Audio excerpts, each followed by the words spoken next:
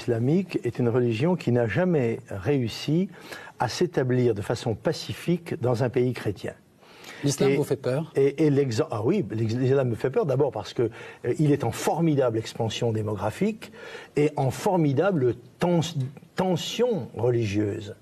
Et euh, dans, dans, tout cela, rien de tout cela n'est objectivement méprisable, mais c'est une force étrangère qui se constitue et qui est animée, comme les, les forces en expansion, d'une volonté euh, euh, de conquête, même inconsciente, si vous voulez. Et moi, mon devoir d'homme public français, c'est de protéger la France et les Français, les Européens et l'Europe, des tentatives hégémoniques qui viennent de l'extérieur. Des, des deux religions, les deux religions actuellement principales en France, du christianisme ou de l'islam y en a-t-il Sont-elles de même valeur ou à votre avis, y en a-t-il une qui a une supériorité sur l'autre? Bien sûr que oui. Il y en a une qui est chez elle ici, dans son espace historique.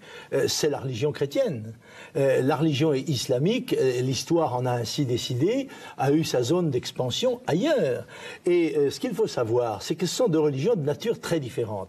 Car il y en a une qui mêle de façon, en quelque sorte, inextricable le, le social, le politique et le religieux, c'est l'islam et l'autre où cette séparation s'est faite peut-être même de manière excessive.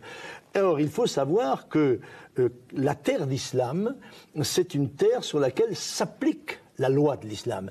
Et si vous acceptez de donner à l'islam les signes extérieurs de reconnaissance de la qualité de terre d'islam en Europe, à ce moment-là, vous serez contraint de donner euh, l'un après l'autre, l'une après l'autre, des concessions de plus en plus, euh, à, des exigences de plus en plus fortes pour imposer non seulement les mœurs, les coutumes, le, costume, mais encore et surtout le droit civil, la, la façon de penser. Or, nous, nous avons droit français à nos lois, à nos mœurs. Et si des gens viennent chez nous, quelle que soit leur motivation, ils sont tous astreints comme moi je le suis quand je vais à l'étranger, à respecter nos lois, nos mœurs et nos coutumes.